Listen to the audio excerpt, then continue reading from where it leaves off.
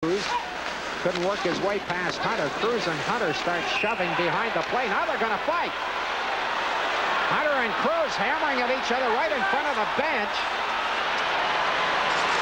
Kruse, the kid against the veteran. We saw Sandy McCarthy get his team going with a fight with Shawn Antoski down 3-1 in the first period. Tim Hunter trying to do the same thing here with Paul Kruse. Break it up quickly.